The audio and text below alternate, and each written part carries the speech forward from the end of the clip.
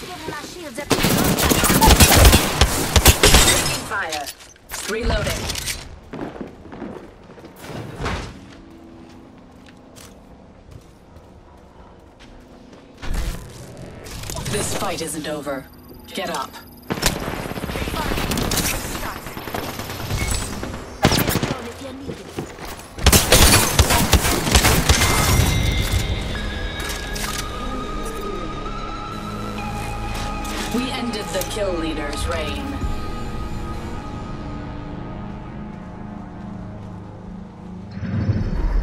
You are the Apex Champions.